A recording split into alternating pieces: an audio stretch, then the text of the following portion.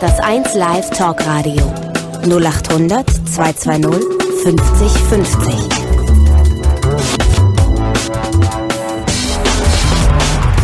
Domian im WDR Fernsehen und in 1 Live.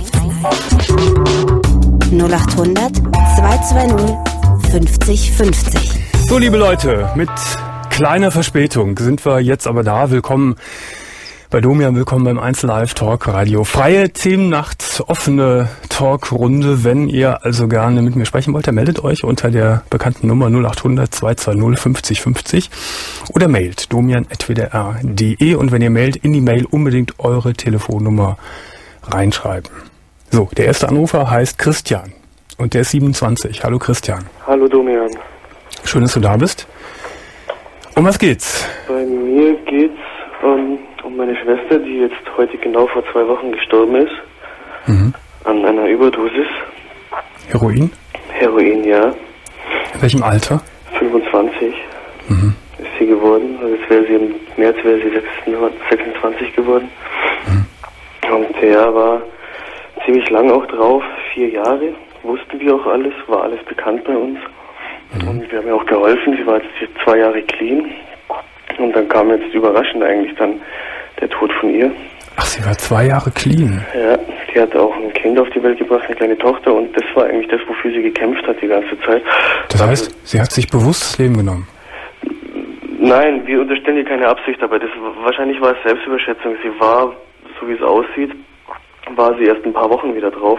Und ja, wir haben es halt nicht mitbekommen, wir haben nichts gemerkt davon und War sie alleinerziehend? Nein, sie war mit ihrem Freund zusammen. Ja. Wie alt ist ihr Kind? Äh, ein Jahr und drei Monate. Ein Jahr. Drei Monate. Ja, das kam halt jetzt. Das ist, ich weiß nicht, wir verstehen es nicht und das warum, wieso. Mhm. Wir haben es schon mal geschafft, dass wir wegkommen von dem Scheiß, dass, dass sie Ja. einfach clean geworden ist. Wir haben ihr geholfen. Ich habe sie bei mir wohnen lassen auch. Meine große Schwester hat ihr geholfen. Wir sind vier Kinder, Ja. also jetzt nur noch drei. Und ja, wir haben gekämpft und getan Ja. und gemacht und Hat denn ihr Freund etwas mitbekommen, dass sie wieder drauf ist? ähm, er sagt nein. Glaubst du es ihm nicht? Wir, wir wollten ihn jetzt auch noch, ja, ehrlich gesagt nicht, aber wir wollten ihn jetzt noch nicht so richtig bombardieren, wir wollten noch ein bisschen Zeit vergehen lassen und dann wollten wir nochmal mit ihm so ein bisschen sprechen. Wo hat sie das denn getan? Zu Hause, Und wer hat sie gefunden? ihr Freund. Hat sie es getan, obwohl oder obwohl ihr Kind auch anwesend war? Nein, die Kleine war bei den Großeltern, die haben sie weggegeben, also für eine Woche zu den Großeltern gegeben, Mhm. dass sie halt auch mal für sich wieder eine Woche hat, ein bisschen entspannen und ja, Das heißt, ihr Freund kam dann irgendwann nach Hause und sie lag tot in der Wohnung. das war auf jeden Fall seine Geschichte, dass er unterwegs gewesen ist. Dann ist er nach Hause gekommen, hat sie so vorgefunden und hat auch versucht, sie wieder zu beleben. Ja. Hat sie gleich ins Bad gepackt, kaltes Wasser, hat halt alles getan. Eine Viertelstunde lang hat er probiert und gekämpft und gemacht. Hat dann einen Notarzt gerufen, die sind dann gekommen, haben natürlich auch weiter versucht, Infusionen gelegt und auch versucht, wieder wieder zu beleben. Und ja, um 1.25 Uhr haben sie halt dann nur noch den Tod feststellen können. Hast du irgendeinen Zweifel an seiner Geschichte? Ja, Inwiefern? Ähm, dass, dass, dass, dass er nicht da gewesen sein soll, das glaube ich nicht. Dass er nichts mitbekommen hat, das glaube ich nicht. Ähm, Du hältst es für möglich, dass, dass sie in seiner Anwesenheit äh, die Spritze gesetzt hat? Ich halte es für möglich, ja. Hältst du es auch für möglich, dass er sich auch gespritzt hat? Halte ich auch für möglich, ja. Wie ist denn überhaupt die Situation, was, was ihn anbelangt? Äh, War er auch immer wieder mal drogenabhängig? Ja, er hat auch nicht für dieselbe Vorgeschichte auch drogenabhängig. Er kam aus einer anderen Stadt und ist extra aus der anderen Stadt eben weggegangen, weil er hier auch sauber werden wollte. Hat dann meine Schwester eben kennengelernt. Die haben das eigentlich auch super geschafft, alles super gemeistert. Das Kind ist auf die Welt gekommen, sie waren glücklich und sie haben eine neue Wohnung bekommen und es hat einfach, es, es, die Zeichen standen alle auf gut und Wie auch immer. Vielleicht äh, war er dabei. Vielleicht hat er es mit ihr zusammen gemacht. Das Unglück bleibt jetzt, wie es, wie es ist. Deine Schwester ist verstorben. ja. Wie, wie, welches Verhältnis hattest du zu ihr? Es klingt eigentlich als ein sehr gutes und nahes Verhältnis. Sehr, sehr gutes sogar, ja. Mhm. Ja, in der Kindheit hat es halt auch ein paar Probleme gegeben.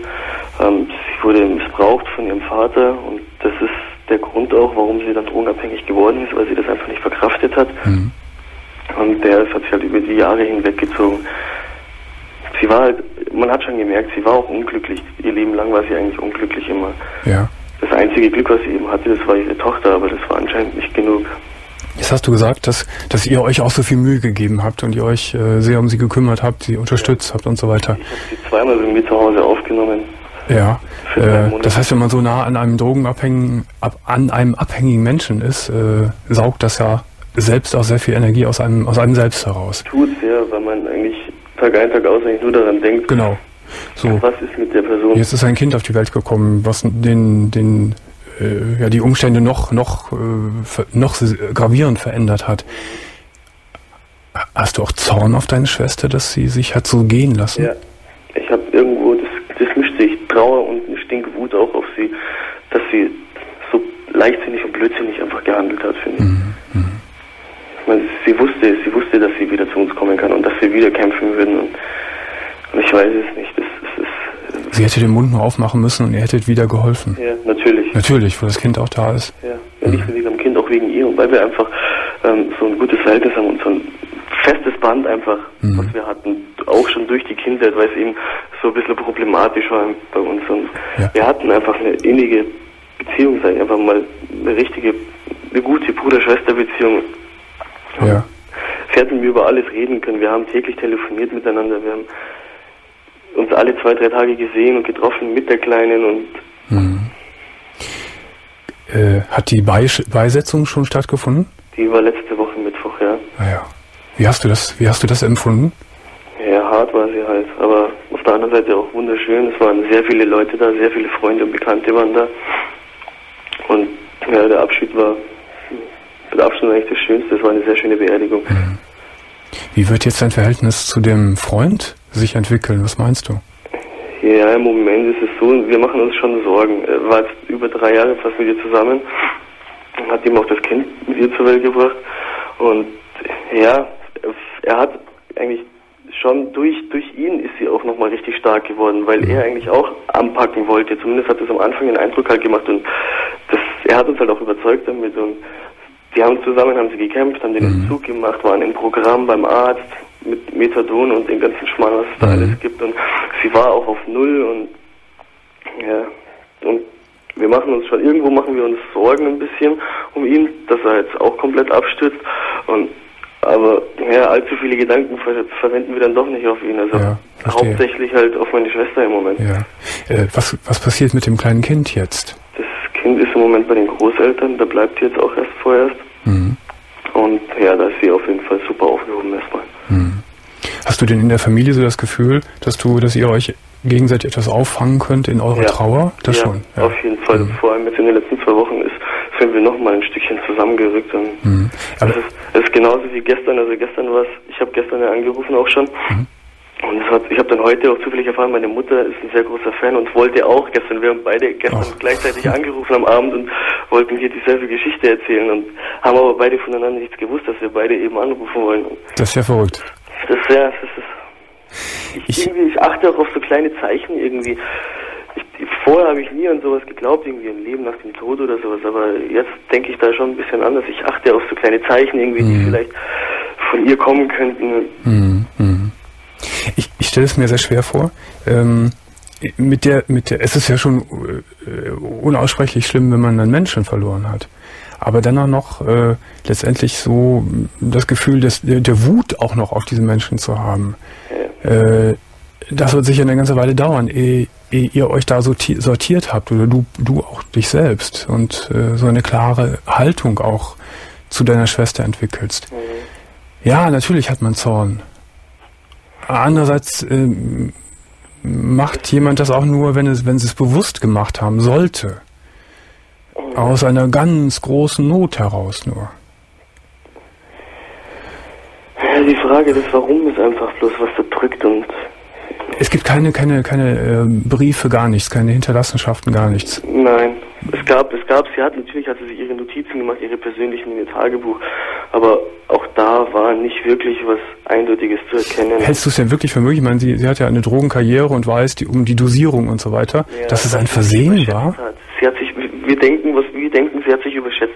Sie hat auch aufgrund ihrer psychischen Probleme, hat sie auch Antidepressiva bekommen. Ach so. Dann Mhm. hat sie vor Abend Silvester hat sie natürlich gefeiert, hatte wahrscheinlich noch Restalkohol drin und diese ganze Mhm. Mischung wahrscheinlich. Das heißt, sie war vielleicht gar nicht wirklich Richtung zu, richtig zurechnungsfähig, als sie, als sie es getan hat. Sehr wahrscheinlich, ja. Als sie die, Ich und hab- vor allen Dingen auch als sie, zweimal, ich habe auch zweimal mit ihr telefoniert an dem Tag, am ersten dann.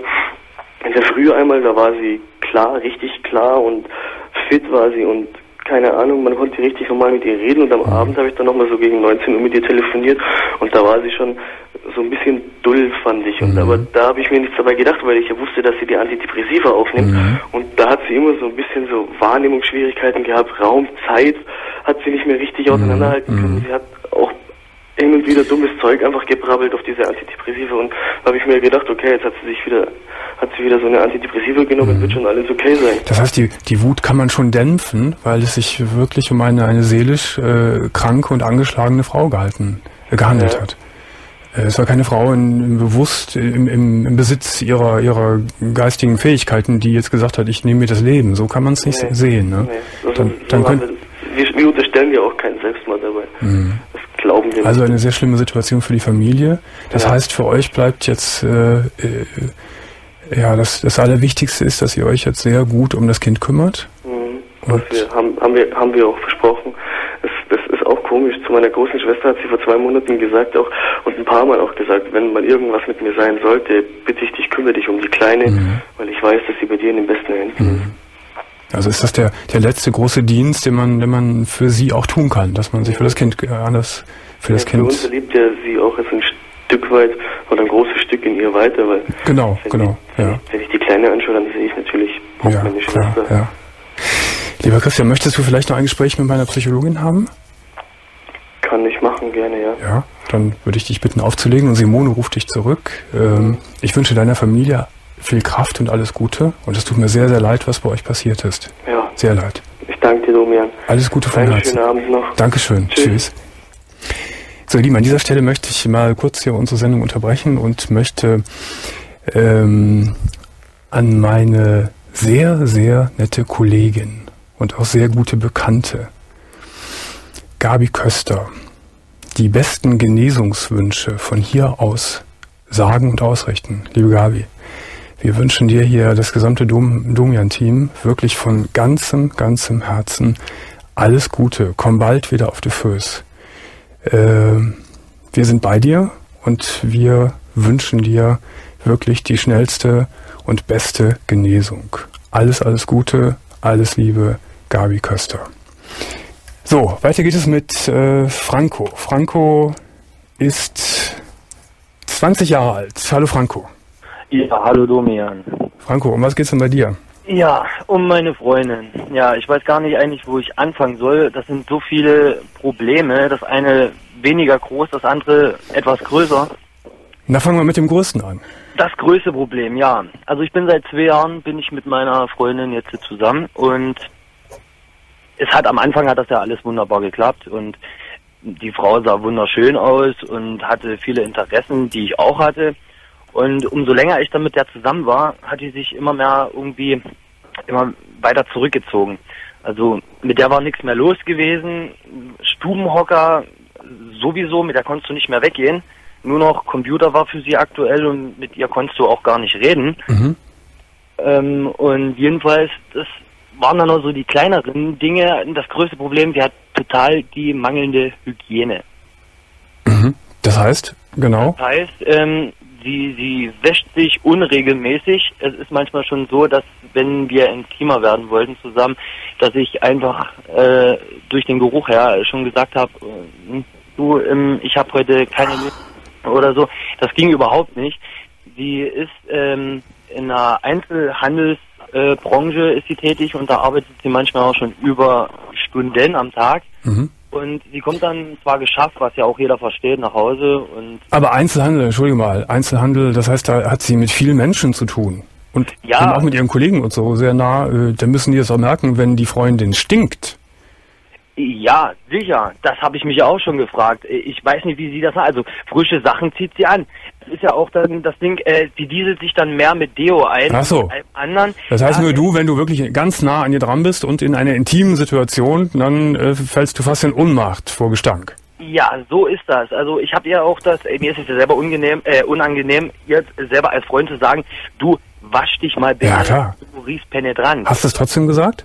Äh, das habe ich ihr mal gesagt und und, äh, Und? aber ich habe dir noch so im Spaßigen gesagt. Ja. Und Die, ja, ich weiß, aber ich bin so geschafft von der Arbeit, ich gehe morgen duschen. Die verschiebt das dann auf den nächsten Tag. Also das heißt, es ist ihr schon bewusst, dass sie, dass sie, dass sie, äh, dass sie sich Ja. nicht wäscht und äh, Ja, sie, ist, ist zu genau. faul dafür. Kann man zu faul dafür zu- sein, sich zu duschen? Ja, ich, ich weiß es nicht. Baden ist doch angenehm, das ist eine- Ich, ich denke ja eigentlich normalerweise, die Frauen, die sind die sau, äh, säubersten äh, Menschen eigentlich. Ha, da geh mal auf eine Damentoilette. Dann wirst du Ja, aber eines andere belehrt werden. Äh, Ja, da durfte ich leider als Mann ja nicht rein, das ist ja das Problem. Ja, aber so habe ich bisher immer gedacht. Vorne hui und hinten pfui, ne? So. Ja, ganz genau, so ist das. Ja, aber das ist ja kein Zustand, das geht ja nicht. Man kann ja nicht mit einer Frau zusammen sein, die, die sich nicht wäscht. Das ist ja, Ja. fürchterlich. Da, da vergeht ja wirklich jeder Spaß am Sex. Wie, wie oft habt ihr denn überhaupt noch Sex? Oh, wie oft haben wir Sex? Also mittlerweile, also ich bin ja auch nicht immer bei ihr, aber das, was ich bei ihr bin, ja, das ist maximal, ähm, wenn ich, ähm, Entschuldigung, wenn ich das sage, da bin ich, habe ich manchmal ein bisschen was getrunken. Also unter Alkohol, sage ich mal, Mhm. da, da rieche ich dann auch nicht mehr viel. Also dann kann ich das vielleicht äh, über mich ergehen lassen. Okay, die Frage Aber war, wie oft? Äh, ja, einmal, vielleicht zweimal in der Woche im Ja. Höchstfall. Ja, ist aber kein Zustand. Kann ja nicht, kann ja nicht so weitergehen. Ja. Und wenn, wenn, wenn, wenn sie das schafft, ja, äh, sich zu waschen, Ja. dann ist es so, dann rasiert sie sich nicht mehr. Normalerweise rasiert sie sich ja die Beine, hat es am Anfang gemacht, ja, mindestens zwei, dreimal in der Woche, da war noch gar nichts Mhm. zu sehen und die hat sich trotzdem rasiert. Ja. Ja. jetzt lässt sie das momentan wachsen. Ja, ich denke, gut, es ist Winter, es ist kalt draußen, aber gut, da wird sich eine Unterhose anziehen. Ja, aber äh, nein, das sieht man wirklich schon, dass da diese dunklen Stoppeln da aus dem Bein rauskommen. Ja, und, äh, Und- ich sag dann mal wirklich, äh, du könntest mal wieder. Ja, ich weiß, ich muss mir erst neue Rasierer kaufen, heißt Mhm. dann. So, das war das große Problem. Sag mal Stichwort zu dem kleinen Problem.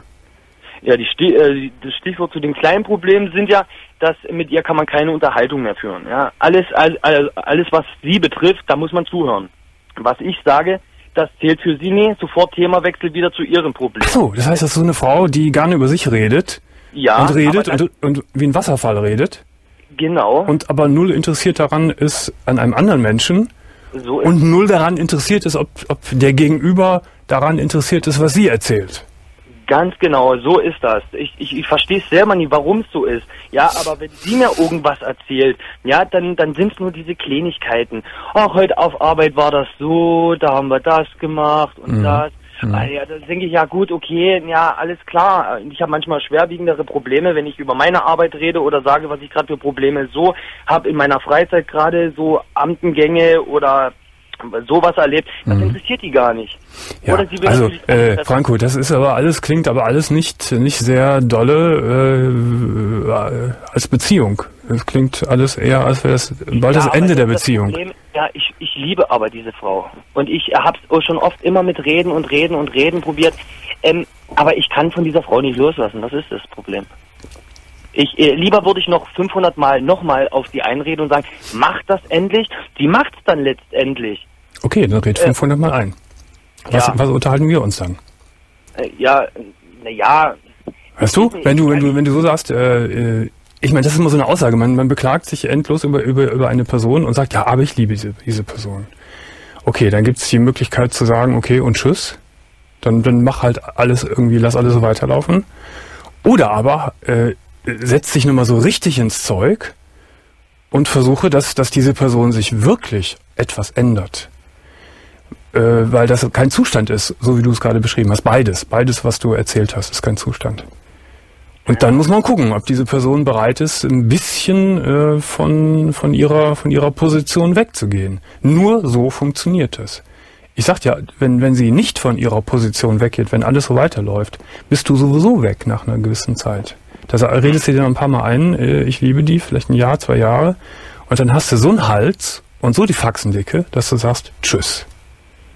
Daher finde ich, dass man frühzeitig versuchen sollte, dann noch irgendwie was, was zu verändern.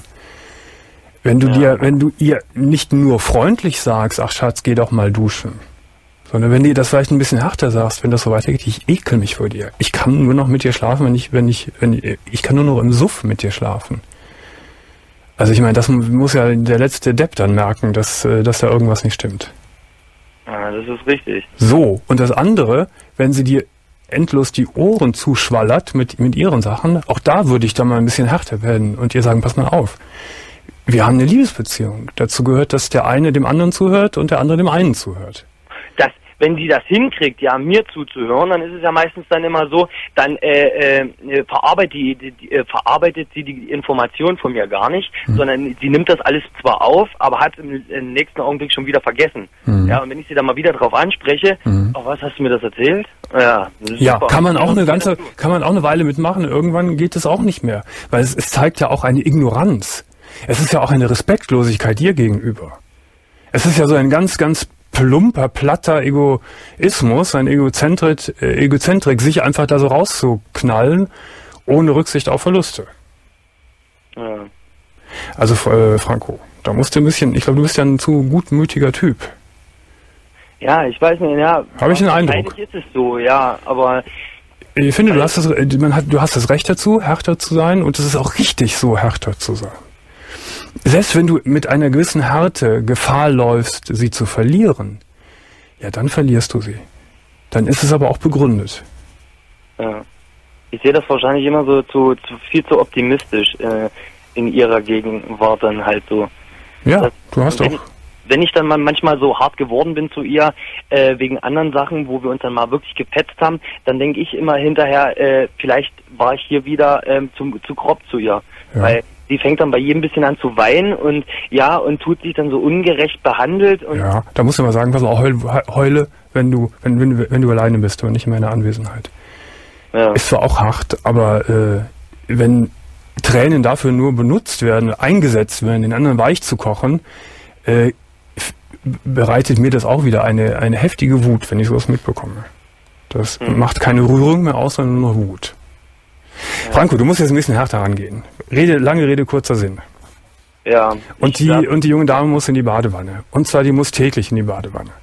Ja, das möchte ja eigentlich sein. Ich weiß ja nicht, ob sie vorher vielleicht Wasser sparen wollte oder so. Äh, das kann man Nein, ja die ist wahrscheinlich einfach nur- ja vielleicht woanders machen. Die ist zu faul, so wie du mir das gerade beschrieben hast. Die ist einfach Ja. zu faul dafür. Geht aber zusammen baden, ist auch lustig. Ja, dann ist ja das Problem, dann sehe ich ja ihre, ihre wachsenden Haare da, ja, in dem Wasser. Ja, da, da habe ich ja, da, da denke ich dort unten unter Wasser sind Wassereigen. Ja, so wie das dann aussieht, na, das, das, das geht ja dann nicht. Ja, das musst du ihr dann auch alles genauso erklären, dass, dass du laufen gehst, wenn du äh, die, den, den Dschungel da unten siehst. Ja, Naja, und so weiter. Du musst, du musst handeln, Franco. Alles Gute. Ja, ich danke dir, Domian. Alles Liebe. Tschüss. Alles klar. Tschüss. Ihnen. 0800 220 50 50, unsere Telefonnummer, wenn ihr mich erreichen wollt. Telefonisch, sonst mailt bitte Domian wdr.de plus eure Telefonnummer. Und bitte die Mails nicht so lang verfassen, sondern nur kurz, damit die Kollegen nicht so viel Zeit brauchen, denn das geht ja alles ziemlich schnell und äh, hektisch hier bei uns dann während der Sendung im Hintergrund. Tanja ist hier. Tanja ist 34. Guten Morgen. Ja, Hallöchen Domian. Erstmal frohes neues Jahr, ne? Ja, danke dir auch. Sehr nett, Ja, dass du sagst. schön. Tanja, um was geht's denn? Es geht um das Thema, ich bin ein Star, holt mich hier raus. Ach ja, ja. Jetzt würde ich mal Das gerne, ja gestern schon mal angesprochen. Das wäre jetzt interessant, äh, wie viel von meinen Zuschauern und Zuhörern das auch gucken oder das geguckt haben. Äh, Das kann ich gar nicht einschätzen, ich weiß es nicht. Äh, Ich denke, das werden schon einige ja, sein. also diese Einschaltquoten sind, sind exorbitant, äh, was, was einen wundert. Äh, Das scheinen wirklich sehr viele Leute, auch durch alle Alters- und Bildungsschichten kreuz und quer, zu sehen. So zum Beispiel auch unsere Tanja. Genau, Ne, die guckt das auch. richtig. Und Ja, das ist auch, ich denke mal, eine gewisse Schadenfreude und eventuell so ein minimaler Voyeurismus. ja, aber hallo, nicht nur ein minimaler, ein ganz großer. Geht so. Ja, natürlich. Äh, Ja, warum guckst du's? Ich gucke das eigentlich, um mich aufzuregen und um mich darüber lustig zu machen. Denn ähm, ich habe das Gefühl, die sind alle nur da, weil sie einfach Kohle brauchen. Vielleicht hat auch Peter Zwegert die beraten oder so. Keine Ahnung. Auf jeden Fall habe ich das Gefühl, Ja, die brauchen Kohle oder die äh, sind einfach äh, geraten. Genau. scharf auf Presse und Fernsehen und Richtig. äh, so etwas. Wobei da manche Leute bei sind, wo ich denke, warum tun die sich das an? Bata Illich zum Beispiel. Richtig. Bata Illich für die Jüngeren das Hinweis, das ist so einer der ganz großen Schlagerbarden der 70er, 60er, 70er Jahre. Mhm. Der Mann hat in seinem Bereich sehr großen Erfolg gehabt, hat wahrscheinlich sehr viel Geld verdient. Wobei ich nur ein Lied von ihm kenne und das ist Michaela. Michaela, ja, natürlich, ja, ja. Äh, aber immerhin. Und ähm, er ist fast 70 Jahre alt. Warum tut er sich das an? Warum tut er sich das an? Ich meine, er liegt ja auch immer ganz, ganz erschöpft irgendwo in der Ecke äh, auf der Hängematte ja. und er tut einem leid. Er ist ja ein sehr netter Mensch. Ich finde, er kommt ausgesprochen sympathisch rüber. Schon, keine Frage, aber ähm, ja, das, die Frage stelle ich mir nämlich auch. Warum ist gerade so ein Mann mit da in diesem Camp? Vielleicht ist er einfach bequatscht worden von RTL und der wusste gar nicht, hat das gar nicht richtig ermessen, was da auf ihn zukommt. Meinst du? Ich weiß es nicht. Ich weiß es nicht. Keine Ahnung. Keine Ahnung. Wen findest du denn von den Insassen am sympathischsten? Eike Immel. Eike Immel, den Hm, ich finde, Fußballer. der ist am humansten, der hält sich zurück. Okay, sein Hygieneproblem, ne? Das ist, Oh, da, ja, Eike könnte sich zusammentun mit der Freundin von Franco gerade. habe ich mir auch gerade so gedacht. Eike Immel wäscht sich nämlich nicht. Doch, am fünften Tag jetzt hat er sich mal gewaschen. Ja, aber wir haben so, so doll war das nicht, ne, was wir da gesehen haben. Aber Nee, das war immerhin, fünf Tage hat er nicht geduscht. Ekelhaft. Das heißt, man kann auch duschen unter einem Bach, ne, für die Leute, die das nicht kennen. Mhm. So, wer ist der für, für dich unsympathischste? Julia Biedermann zum einen, Ja, denn ähm, hast du das mitbekommen mit den Playboy-Fotos? ja, Das ist ja wohl. Hat sie sich super geschämt? Management auf jeden Fall. Die haben nochmal ganz schnell alles irgendwie rausgezuckt, was zu machen ist. ja. Schnell irgendwie beim Playboy angerufen, dann zack ins Camp, mal gucken, was als nächstes kommt. Und die sieht doch wohl furchtbar aus, ungeschminkt, oder? Ja Gott, äh, was heißt furchtbar? Äh, Oh. Ja, also wir wollen aber nicht urteilen. Ich glaube, wir alle sehen ziemlich scheiße aus, wenn wir da äh, ein paar Tage in dem Camp liegen Aber würden. nicht so. also das finde ich schon extrem. Wie findest du denn, mein, mein, äh, mein Liebling ist ja, äh, Liebling in Anführungszeichen, ist ja Frau Herzsprung. Oh Gott, Jesus. oh, die Frau, die geht gar nicht. Warum nennt sie sich Star? Sie ist doch eigentlich nur bekannt durch ihren Alkoholismus, beziehungsweise durch ihren Ex Bernd Herzsprung. Durch den Oder Ex, nicht? ja. Da, Alkoholismus weiß ich jetzt nicht, wollen wir auch keine falschen Gerüchte verbreiten. Das war ja auch äh, allgemein bekannt. Ja? Achso, weiß ich gar nicht. Ja. Okay, aber durch ihren, durch ihren Ex-Mann ist sie bekannt. Mhm. Und äh, was hat sie in diesem Camp zu suchen? Sie ist doch kein Star. Eigentlich nicht. Nö. Aber heute, heute hat Barbara Herzsprung, meine Lieben, falls ihr das nicht gesehen haben sollt, es gab so eine, so eine Prüfung, da musste Björn Hergen-Schimpf, der auch dabei ist. Wie findest du den denn übrigens? Ähm, den finde ich eigentlich ganz okay. Der sagt, was er denkt. Ja. Und ich denke mal, der drückt sein Herz am richtigen Fleck. Ja, aber so ein bisschen muffelig immer, ne? Aber ich finde das ganz gut. Der bringt so ein bisschen miese Stimmung da auch rein. Okay, also die beiden mussten heute einen, einen, einen die müssen immer so Aufgaben da machen und äh, die Mhm. mussten heute zusammen eine Aufgabe machen. Und da mussten die verschiedene Dinge essen. Ekelhaft. Ekelhaft. Und Barbara Herzsprung, da blieb mir wirklich äh, das Herz verstehen, musste einen, einen so großen, also für die Radiozuschauer vielleicht äh, Durchmesser von 15 Zentimeter Oh, und breit vielleicht äh, 10 Zentimeter, frischen, aber ungekochten Känguruhoden essen. ekelhaft. Und die hat das gegessen. Und vor allen Dingen extra den Mund noch aufgemacht, damit man auch sieht, Ja. oh, wie der Schleim dann da rauslief. Unfassbar. Und die hat es auch Oh. runter, die hat's auch runtergeschluckt, ne? Mhm, Die hat alles gemacht. Bis auf die Augen. Bis auf die Augen. Es gab auch noch dann Krokodilaugen, frische Krokodilaugen. Boah. Über was reden wir hier? Was für ein Scheiß wir hier reden, ne? Mann, oh Mann. Ja, man gönnt sich ja sonst nichts. Nein, es ist wirklich, finde ich, eine, eine Unterhaltungsshow und wer äh, so drauf ist und da mitmacht, ist selbst schuld. Mhm. Und ich finde es toll moderiert von Dirk und Sonja. Ja, den Dick Bach, den finde ich sowieso, den fand ich schon immer klasse. Die Sonja Zietlow ist nicht so ganz meine Abteilung. Ja, aber dass die beiden das so selbst, dass die sich selbst auf die Schippe nehmen und die Show selbst durch den Kakao ziehen. Ich glaube, dadurch wird das ganze Format interessant. Wenn die das Genau. tot ernst moderieren würden, wäre das, wäre das, wäre das grauselig, glaube ich, das Ganze. Was ich recht gut fand, dass die Sonja Zietlow das heute angesprochen hatte mit den Fotos im Playboy. Beziehungsweise sie hat ja nur gesagt, so ja, ich habe Bilder von dir gesehen. Ja. Das fand ich ganz klasse, dass das so geäußert hat, weil die hatte sich ja recht zurückgenommen. Ja, sie war- Thema Playboy irgendwie Ja, sie war zu feige, das da im Camp zu erzählen. richtig, ne? genau. Und das fand ich gut, als sie das dann angesprochen hatte, muss ich Also sagen. wie dumm muss man denn sein, dass, äh, dass man sich nicht denkt, dass das vom Fernsehen von RTL dann wirklich genüsslich ausgeschlachtet wird, wo da überall die Kameras hängen, wo die sitzen. Ne? Richtig, eben. Und ich glaube, bei der Schaffrat und bei dem Immel, da geht was. Da, dass da noch irgendwas passiert. Übrigens finde ich, übrigens finde ich, finde ich Frau Schaffrath so eine patente, nette Frau. Ja, doch, also bis jetzt macht sie einen recht sympathischen Ja, ich muss mein Bild da revidieren. Ich hatte früher so meine, meine Aversion und dachte, ja, also ausrangierter Pornostar. Mhm. Aber, und ich war übrigens erstaunt, dass sie nur zwei Jahre als Pornostar gearbeitet hat. Ich auch. Ich habe gedacht, Ja. das hat sie schon immer gemacht. Ja, ich dachte auch so, so à la Theresa Orlowski oder so, die das dann Genau. 20 Jahre gemacht haben. Zwei Jahre nur. Ja, Und dann hat sie aber eine ganz schöne Karriere hingelegt. Also. ja, stimmt. Also muss man ja sagen. So, wer ist denn für dich dein Favorit? Wer, wem würdest du es am ehesten gönnen, dass er oder sie es schafft? Eike Immel, dem gönne ich das. Dem gönnst du das. Hm, Das Ich glaube, ich nett soweit und ich glaub, der hat es finanziell auch sehr nötig, weil er irgendwie völlig, völlig blank ist. Ne? wie alle quasi, die da drin sind. Ja, man weiß es nicht genau. Ich denke schon. Ja. Weil, nee, also das sind ja wirklich, die sind doch alle in Vergessenheit geraten. Die Julia Biedermann, die habe ich nur noch in Erinnerung durch Ich heirate eine Familie. Die hatte ich völlig vergessen, muss ich ehrlich sagen. Ja, also ich Mhm. auch. Ja. Ne? Und ähm, Und das kleine Mädchen, diese, äh, die, äh, Lisa Bund. Ja, Lisa Bund. Ja. Ja, ich denke mal, ähm, bei ihr ist das mit dem Singen hat noch nicht so ganz gefunkt. Und aufgrund dessen macht sie das jetzt, um jetzt so rauszukommen. Oder beziehungsweise mehr wieder in die Öffentlichkeit zu treten. Ja, also auf jeden Fall dein Star oder dein, dein Dschungelkönig, so nennen die sich ja, wenn die da gewinnen, soll Mhm. Eike Immel werden. Ja, doch, dem gönne ich das. Ja. Den finde ich bis jetzt am besten eigentlich. Ach, lustig wäre ja auch, wenn Bata Illich das würde. So der ganz stille, so als alter, als alter König, der über allem thront.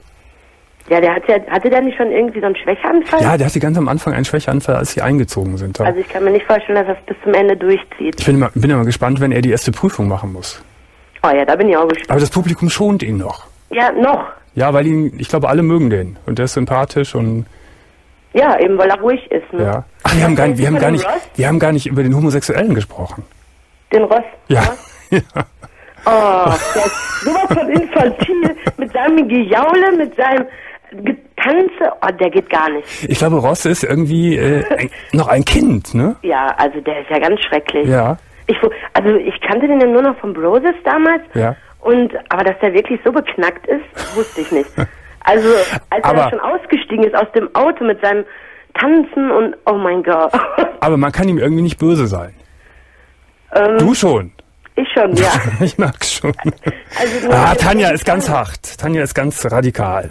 Nein, so schlimm bin ich ja auch nicht, aber also der Ross, der, nee, der geht gar nicht.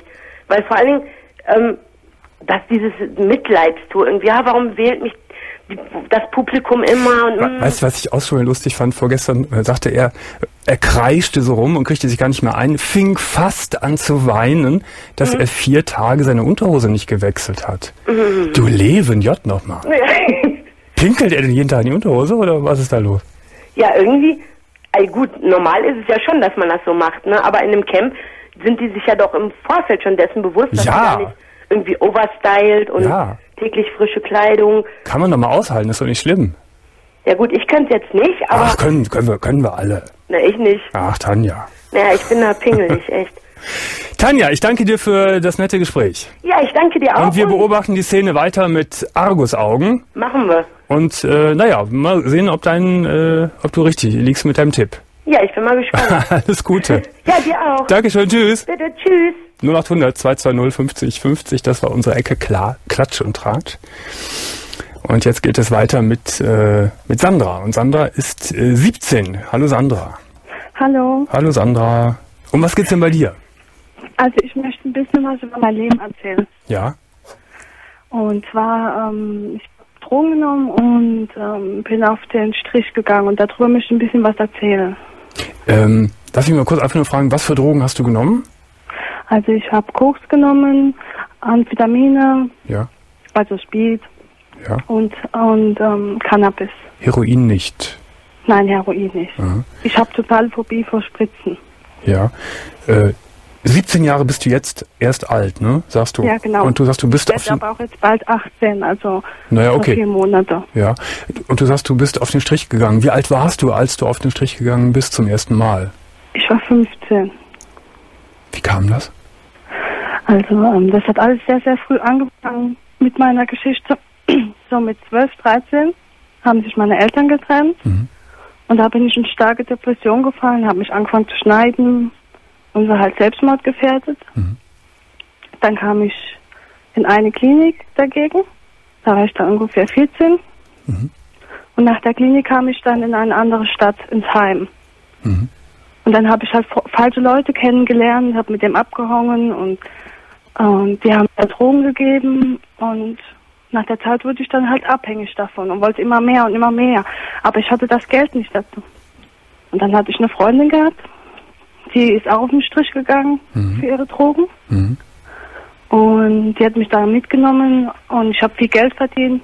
Also mit 15 Jahren, wo geht man denn dann da zum ersten Mal hin? War das ein Straßenstrich oder am ja, Bahnhof? Kinderstraßenstrich. Kinderstraßenstrich. Mhm. ja, genau. Das war doch bestimmt sehr schlimm für dich, die erste Zeit, oder? Also ich habe meistens immer unter Drogen gestanden. Ja. Gab auch Tage, da habe ich nicht unter Drogen gestanden. Also ich habe fast jeden Tag gemacht. ähm, Warst du denn dann Ja. auch noch in dem Heim? nein, da bin ich schon rausgeflogen. Also nachdem ich auf den Strich gegangen bin und die haben das rausgefunden, haben die mich rausgeschmissen. Dann habe ich auch eine Zeit lang auf der Straße gelebt oder bei einer Freundin mal übernachtet oder so, bis dann das Jugendamt mich in eine Wohnung gesteckt hat. Und hat gesagt, da kannst du wohnen und so, das ist kein Problem, mach dein Ding und so, fertig aus. Also die haben ich dich bin auch na- nicht mehr zur Schule gegangen. Die haben dich in eine Wohnung gesteckt, ohne, ohne sich weiter um dich zu kümmern.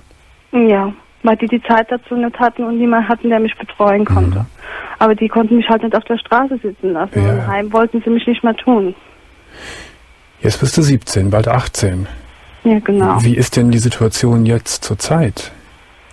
Also im Moment, ähm, ich habe dann jetzt letztes Jahr, Anfang letztes Jahr, habe ich einen Selbstmordversuch hinter mir gehabt. Mhm.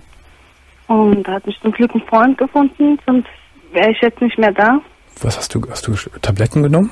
Ja, Tablettenvergiftung habe ich gehabt mit Alkohol und viel Koks in mir gehabt und war ein schlechter Ko äh, Mix halt und aber ich habe ich wollte mich umbringen. Also ich habe das extra genommen, extra viel genommen, extra viel Alkohol getrunken und irgendwann war ich dann weg. Mhm. Und dann bin ich noch im Krankenhaus aufgewacht und hatte dann auch Nervenzusammenbruch und so, das war dann so. Und dann bin ich auch wieder nach Hause, meine Wohnung, und dann habe ich mir einfach so gedacht, dass ich das nicht mal will. Ich habe mich dann so dreckig gefühlt und von den ganzen Männern benutzt und, und Ja, ja, dann habe ich mich an mein- altes Heim gewendet, ja. an die Leiterin dort. Die hat mir dann Entzug empfohlen. Mhm. Und das habe ich dann auch gleich darauf gemacht. Also eine Woche später war ich dann im Zug gewesen. Da warst du, um es nochmal einzuordnen, wie alt? Da war ich noch 16. 16. Mhm. Nein, nein, nicht 16. Aber immerhin, du hast dich dann äh, eigenständig an die Heimleitung äh, Genau. gewandt und äh, bist dann auch in den Entzug gegangen. Genau. Und dann? Und in dem Entzug haben sie mir halt empfohlen, weil ich halt schon äh, einen starken Entzug hatte. Und da kommt halt alles zusammen, die Schmerzen und so. Mhm. Und habe denen auch meine Sache geschildert. Und die haben mich dann äh, in eine Therapie gesteckt. Ja. Da war ich dann drei Monate lang gewesen. Ja. Hab einen Tag wieder mitgemacht und bin früh aufgestanden. Das war auch ziemlich schwer für mich, Mhm. weil ich mittags um zwei erst aufgestanden bin. Also es aber immer. gab keinen normalen Rhythmus mehr für mich. Ja. Also, aber immer durchgezogen. Ja, und habe ich komplett durchgezogen. Und dann hat das Jugendamt gesagt, weil ich das so toll gemacht habe, kann ich äh, zurück in meine Heimatstadt. Mhm. Sie geben mir dann eine Chance, sie geben mir eine Wohnung. Und ähm, die, da muss ich schon einen Teil bezahlen jetzt auch im Moment, aber das bekomme ich von meinem Unterhalt bezahlt. Das heißt, also durch, durch, durch deine Eigeninitiative bist du bis heute auch, ich sag mal, äh, clean geblieben. Du Ja. hast also keine Drogen mehr genommen Nein, und bist bis heute auch dann nicht noch, noch mal auf den Strich gegangen. nein. Das ist so eine tolle Leistung, muss ich dir sagen. Ja, ich hatte auch viel, viel Ansporn, weil ich wollte mein altes Leben wieder zurück. Ich wollte meine Familie wieder, weil ich habe seit ich 14 war keinen Kontakt mehr zu meiner Familie gehabt. Bis jetzt vor einem halben Jahr. Und der das war Kontakt ist jetzt und der Kontakt ist jetzt wieder zu deiner äh, zu Vater und Mutter ist wieder da? Ja, der ist wieder da. Also mein Vater hat wieder geheiratet. Der ist auch sehr glücklich mit seiner Frau. Die ist zwar viel, viel jünger wie er. Der, die ist 24 und er ist 43. Ja. Und der Kontakt zur Mutter? Der ist auch da. Der ist auch da. Also- Wussten, die, was, wie tief du gesunken warst und wie schlimm du abgestürzt warst? Nein, die haben gar nicht gewusst, wo ich bin. Also nachdem ich aus dem Heim rausgeflogen bin, haben die gar nicht mehr gewusst, wo ich bin und was ich mache. Und auch wo ich dann von der bekommen habe, haben die nicht gewusst, wo ich bin. Und Ja. die wollten auch irgendwo nichts mehr mit mir zu tun haben, Mensch, hast du weil ja- ich halt so schwierig war. Dann hast du ja jetzt in deinen jungen Jahren schon ein, ein, eine irrsinnige Erfahrungspalette Ja, von, von äh, Lebenserfahrung hinter dir. Das, was du jetzt hinter dir hast, hat manch ein, ein, ein 40-Jähriger, 50-Jähriger nicht. genau. Das habe ich auch schon oft gesagt bekommen und Ja, ich bin auch ziemlich stolz auf mich, dass ich das geschafft das kannst du habe. auch sein. Das kannst du aber wirklich sehr sein, finde ich. Dankeschön. Sehr, wirklich. Das sage ich dir nicht, um, um dir nett zu, zuzusprechen, sondern das meine ich ernst. Äh, wenn man sich selbst aus so einem Sumpf, und du warst richtig in der Gosse, tiefer geht's ja, Ja. gar nicht mehr, da so rausholt. Ähm, was hast du denn jetzt für, du musst es ja weitergehen. Du hast jetzt eine, eine, Ja. eine gute Grundlage geschaffen. Äh, Wie soll es weitergehen? Also ich ähm, nach Schule Schu- ja, in- eingestiegen, neunte Klasse, ja. und mache nächstes Jahr die andere Hälfte fertig. Also, dass du schon mal einen Vielleicht. Hauptschulabschluss hast dann? Genau, genau. Mhm, ja. Möchte gerne dann meine zehnte Klasse auch machen und dann halt Ausbildung machen. Mein ganz normales Leben wieder führen und Ja. Was für eine Ausbildung mein- möchtest du gerne machen? In welchem Bereich? also ich würde gern ähm, Altenpflegerin werden. Altenpfleger. Ah ja. Ah ja. Weil mir das sehr viel Spaß macht, mit Menschen zu arbeiten und gerade so Mhm. mit den alten Menschen. Also ich habe ähm, vor drei Jahren auch meine Oma verloren Ja. und das war auch sehr schlimm für mich. Ich Ja. konnte nicht gehen und ähm, Also, das finde ich auch, auch das finde ich eine sehr gute Entscheidung. Das ist ein sehr wichtiger und sehr äh, ehrenwerter Beruf, den du da anstrebst. Ähm, ähm, wie ist das denn jetzt so, wenn man, wenn man aus so einer ganz anderen Welt kommt? Muss man ja eigentlich auch all die Leute, die man früher gekannt hat, muss man hinter sich lassen, weil die, ja, ganz genau. die bringen einem nichts. Kon Kein Kontakt mehr. gar keinen Kontakt Mhm. mit jemandem mehr. Also ich habe jetzt hier zwar auch wieder, meine Heimatstadt habe ich jetzt auch wieder zwei, drei Freunde, aber ganz neue Freunde. Ist aber schwierig, Ähm, ne, glaube ich, sowas dann ja, aufzubauen. sehr Mhm. schwierig. Ja. das aufzubauen. Und die Anfangszeit habe ich viel zu Hause gehuckt oder war bei meiner Oma oder bei meiner Mutter oder mit meiner Schwester mal weg, Mhm. Bis Wie, ich dann, äh, wie finanzierst du dich jetzt? Kriegst du jetzt irgendwie Beihilfen? nein, ich krieg Unterhalt von meinem Vater und das so. Kindergeld. Ach so, Ja, dann, das reicht mir, kaum zu leben. da, aber da kommst du so einigermaßen über die Runden. Ja, aber ich, ich arbeite noch abends als, also es kommt immer drauf an. Was machst du? Äh, ich tue als Kellner. Also das habe ich mir schwer überlegt, ob ich das überhaupt machen soll, weil Mhm. ich auch, auch mit Alkohol zu tun habe. Mhm. Aber ich habe halt auch Geld gebraucht. Also Ja. mir reicht zwar gerade so zum Leben, aber zum besser Leben brauche ich halt einen Job. Aber das, das, das hast du im Griff und nicht, dass du da Ja. irgendwie Gefahr läufst, da irgendwie abzurutschen, wieder durch den, durch den Job. Nein, nein, also ich ähm, am Anfang war es schwer für mich, Ja? aber jetzt nach der Zeit ist es normal für mich und ähm, ich habe auch kein Verlangen mehr danach, Mhm. überhaupt kein Verlangen mehr. Auch wenn es mir jetzt schlecht geht oder so, habe ich nicht das Verlangen, mich zu schneiden oder Alkohol zu trinken oder irgendwas anderes, habe ich nicht mehr. Mhm. Ich habe auch noch therapeutische Unterstützung. Also da gehe ich einmal die Woche hin. Ach so, das läuft, das läuft nach wie vor. Mhm. Ja, das habe ich selber gewollt. Ja. Mensch, du bist immer eine resolute junge Frau. Ja, danke schön. Aber wirklich. Ich glaube, äh, deswegen finde ich toll, dass du angerufen hast und dass du das ja auch so offen erzählt hast, dass du äh, dem, dem einen oder anderen jungen Mädchen oder vielleicht auch jungen Mann, der so in deiner Situation jetzt ist, in der du vor ein paar Jahren warst, dass du Ja, dem Mut, da kannst du Mut machen. Du kannst viel mehr Mut machen, als wenn irgendwelche Psychologen was erzählen oder wenn ich ja was erzähle, weil du hast es erlebt am eigenen, äh, am eigenen Leibe und äh, da hat deine Stimme Gewicht, glaube ich, bei Leuten, die betroffen sind. Ja, das wollte ich auch damit erreichen und ich habe mir schon die ganze Zeit überlegt, ob ich mal bei euch anrufen sollte. Mhm. Und war auch immer sehr begeistert von dir und deinen Mitarbeitern. Also Mhm. finde ich klasse, was ihr macht. Vielen Dank. Und ähm, das einfach durchzubringen, dass man es schaffen kann, wenn man es wirklich will. Ja, das hast du wirklich jetzt gut rübergebracht, Sandra. Ja.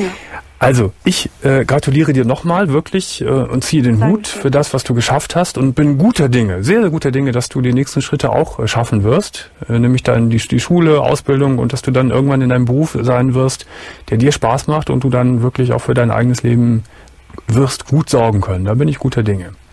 Vielen, vielen Dank. Schön, dass du angerufen hast und alles Gute ich, weiterhin. Kann ich noch ein Autogramm von dir haben? Sehr gerne, Sandra. Dann legst du bitte auf und wir rufen dich an wegen deiner Anschrift. Okay, danke schön. Tschüss. Tschüss. Herzlich willkommen, Nils. 21. Hallo, Nils. Hi. Hi. Um was geht's?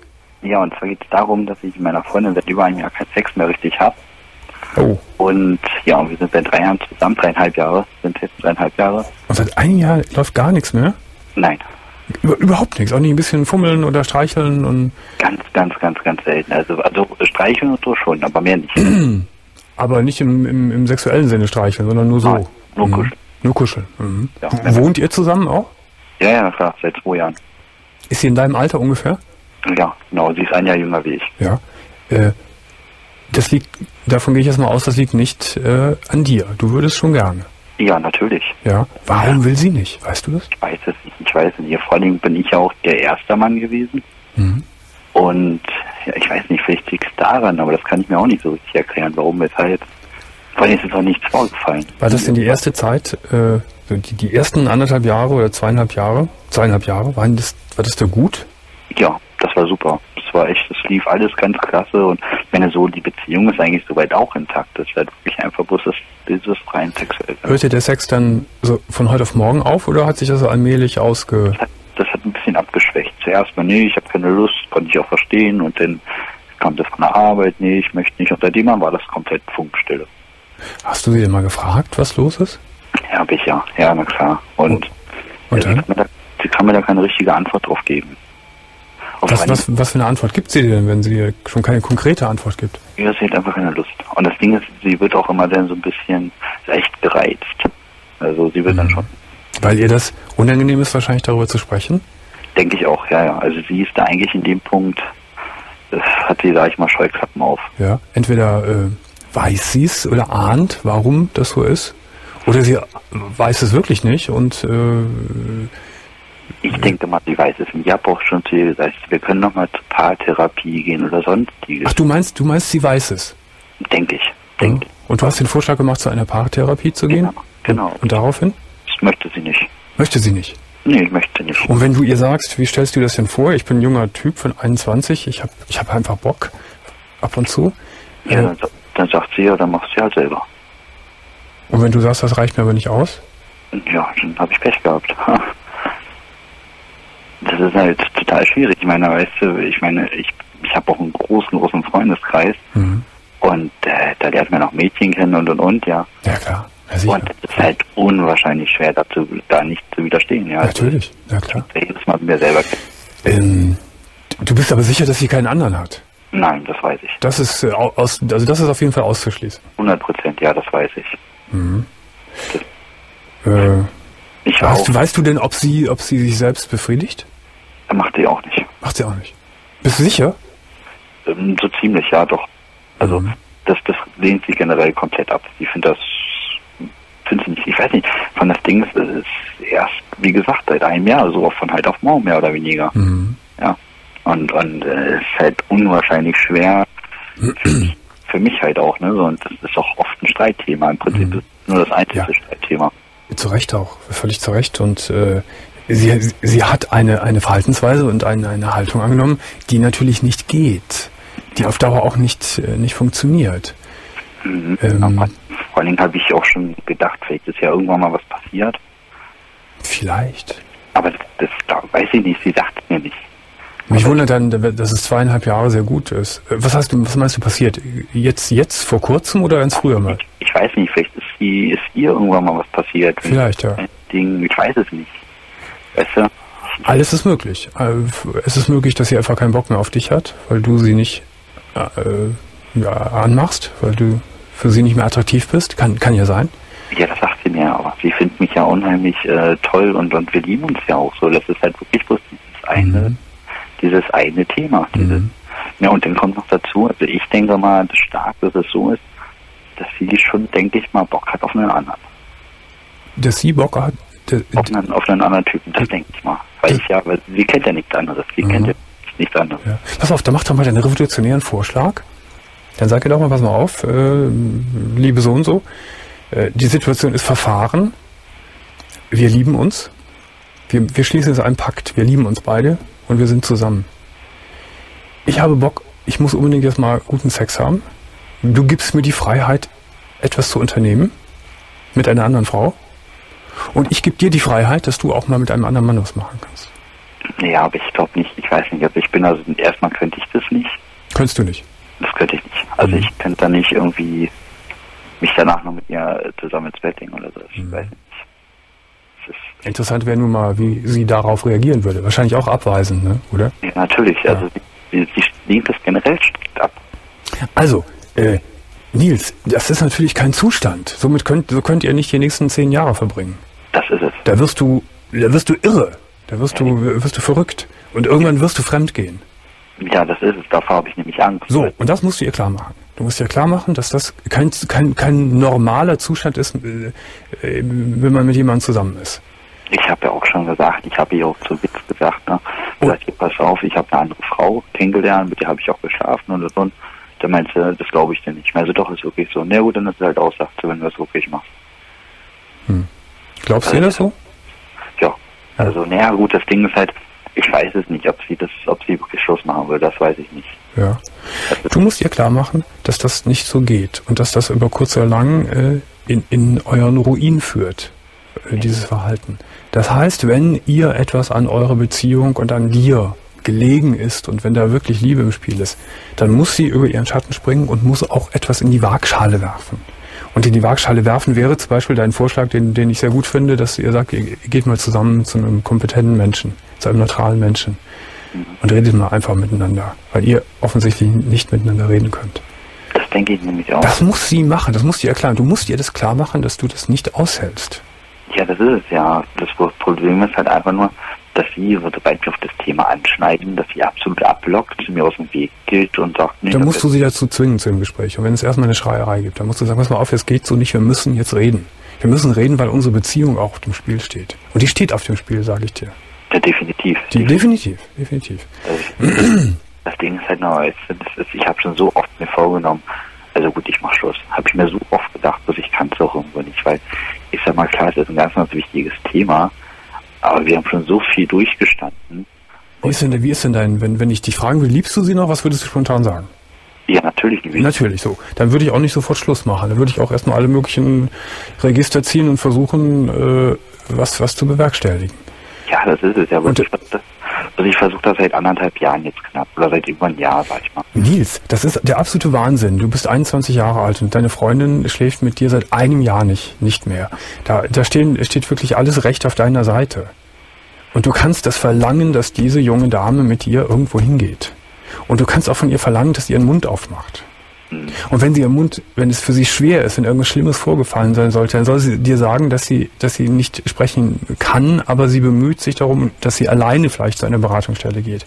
Aber sie muss irgendetwas machen. Sie muss etwas machen. Weil sie, weil sie wirklich dann sonst eure Beziehung kaputt macht. Und das musst du ihr so klar machen.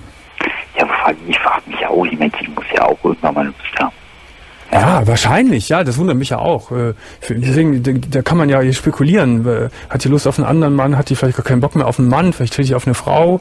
Äh, Ich, weiß es nicht. Irgend, irgend, irgendwas, wird es sein.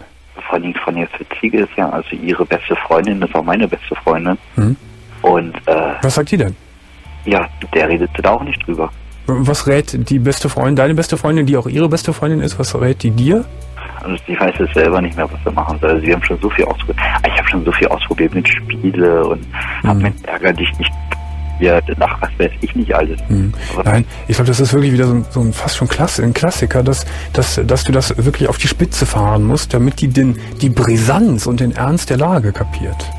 Ja, ja. Aber dass es nicht nur Rederei ist, dass die auch nicht denkt, naja, lass den, lass den mal quatschen, das ist eh gleich wieder gut. Nein, die muss kapieren, diesmal ist es ernst. Vor allem das Ding ist, ich hatte mir eigentlich ein Limit gesetzt. Ich hätte mir gesagt, okay, gut, äh, bis zum zweiten, ersten habe ich mir mal gesagt, also gut, weil erster, erster Silvester, gut, macht man nicht. Ne? Ja, gut, am zweiten, ersten, wenn das da wirklich nicht gut, dann äh, verlasse ich sie. Ne? Und Pass auf, Nils, meine Sendung ist gleich vorbei. Ich würde Ja. dich, ähm, äh, das überlege ich gerade, ich, äh, ich würde dich gleich gerne nochmal anrufen lassen von meiner Psychologin, von Simone, die Ja. dir noch die eine oder andere Beratungsstelle auch äh, geben kann, als Adresse, wo ihr oder wenn alle Stück reißen, gehst du da alleine hin, hingehen könntest, ja? sehr nett. Du legst bitte auf und äh, Simone ruft dich gleich an. Okay, super. Tschüss. Okay, tschüss. Ihr Lieben, das war's für heute. Ich bedanke mich fürs Zuschauen, fürs Zuhören. In der Technik äh, Gunnel Blendin. Morgen sind wir wieder da. 1 Uhr Radio ist Live, 1 Uhr wieder Fernsehen, 1 Uhr 1 Festival. Gute Nacht, tschüss, bis morgen.